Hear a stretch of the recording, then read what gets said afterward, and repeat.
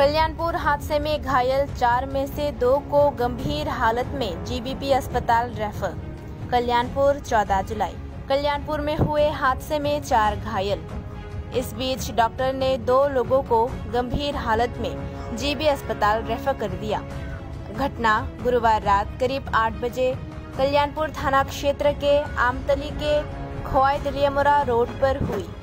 Bike और scooty के बीच आमने सामने की टक्कर की रिपोर्ट प्राप्त हुई।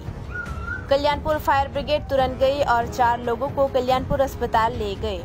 घायलों में अमरजीत सावताल, अभिजीत गौर, अरूप बरुआ, विक्रम बनीक थे।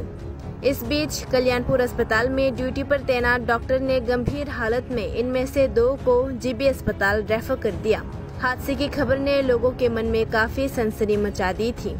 कल्याणपुर थाना पुलिस ने बाइक व स्कूटी को जब्त कर लिया প্রায় সাতটা বিশের দিকে একটা কল পাইছি যে বাগান বাজারে একটা বাইক আর একটা স্কুটির মধ্যে মুখোমুখি সংঘর্ষ হয়েছে তো ওইটার মোড়ে আমরা স্পটে গিয়া একটা বাইক পাইছি যেটা নাম্বার বিহীন পালসার বাইক আর আর একটা স্কুটি পাইছি ওইটার নাম্বার হইলো T R zero six C eight four double zero আর স্কুটির ক্যাজুয়ালিটি একটু সিরিয়াস আছে এর নাম হলো বিক্রম মুদক এজ মোটামুটি অ্যাপ্রক্স পঁচিশ বছর হইব, আর বাইকে তিনজন আসলো তার নাম হয়েছে অরূপ বড়ুয়া।